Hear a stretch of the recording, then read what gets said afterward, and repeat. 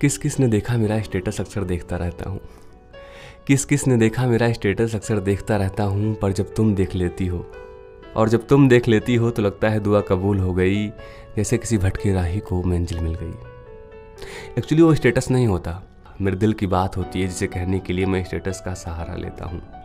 और जो बात मैं तुम्हारे सामने कह नहीं पाता, अक्सर उसे स्टेटस में लिख देता हूँ।